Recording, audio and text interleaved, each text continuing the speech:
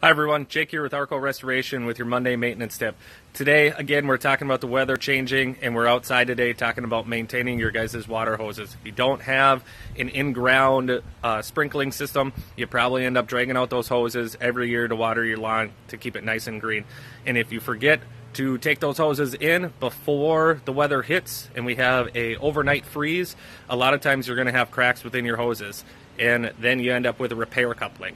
Now you ask Jake, why do you have a repair coupling cut off a hose? Because guess what? I forgot last year as well and had to make a cheap but again a costly repair time away from the family to make a repair. If you like to do those repairs and be out in the garage and get away from those kids, then leave those hoses outside. They will rupture, and you will end up with uh, going to the local hardware store, grabbing a coupling, fastening on there, and fixing that hose, or buying a brand new one.